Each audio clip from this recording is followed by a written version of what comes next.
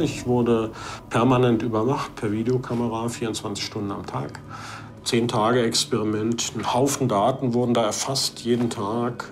Es ist mir ein großes Anliegen, diese wissenschaftliche, ganz konventionelle, solide Aufarbeitung dieser Fragen, die sich äh, an diesem Phänomen anknüpfen, äh, auch anzugehen. Ja, mein Name ist Michael Werner. Also ich habe diesen Lichtnahrungsprozess gemacht im Januar 2001. Und seitdem ähm, habe ich nichts mehr gegessen.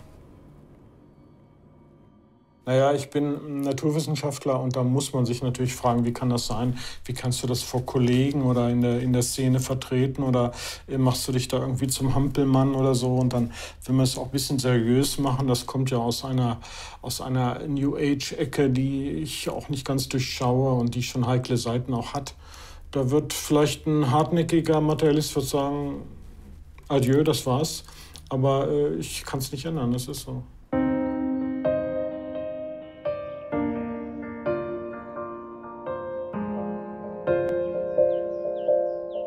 Ja, der Kontakt war äh, überraschend und, und abrupt eigentlich. Das war vor äh, sechs Jahren, da hat mein Sohn geheiratet und da kam eine alte Bekannte unserer Familie zu Besuch und die aß nichts mehr und war dann ein paar Tage bei uns zu Besuch und dann haben wir sie gefragt, was los ist und dann hat sie gesagt, nein, sie hat ihre Ernährung umgestellt auf Lichtnahrung. Und dann war ich völlig baff, völlig betroffen auch davon. Und dann hat sie erzählt von, äh, von einem Buch von, von der Jasmohen.